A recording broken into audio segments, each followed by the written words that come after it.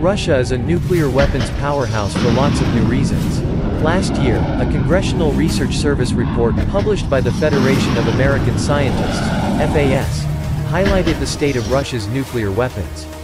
Moscow's nuclear forces consisted of both long-range, strategic systems, including intercontinental ballistic missiles, ICBMs, submarine-launched ballistic missiles, SLBMs, and heavy bombers, and shorter and medium-range delivery systems. Russia's modernizing nuclear force Russia has also been modernizing its nuclear forces and has been actively replacing Soviet-era systems with new missiles, submarines and aircraft while developing newer types of delivery systems including hypersonic missiles.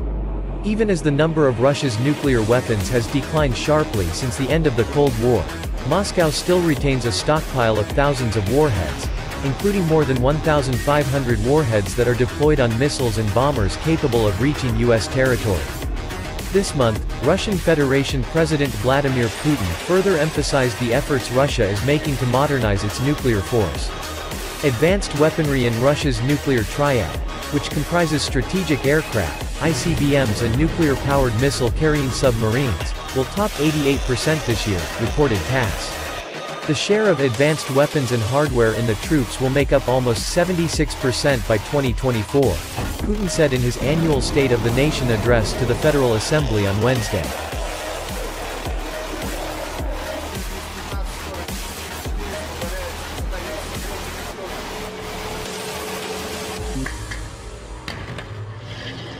This is a very good figure.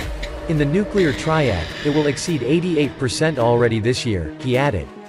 Russia has been constantly improving and qualitatively strengthening its armed forces, Putin further noted. In particular, special attention should be paid to developing military education, said Putin. This should be done both on the basis of military educational establishments and military training centers at civil higher educational institutions. Russia's military. Cutting-edge weapons on the way?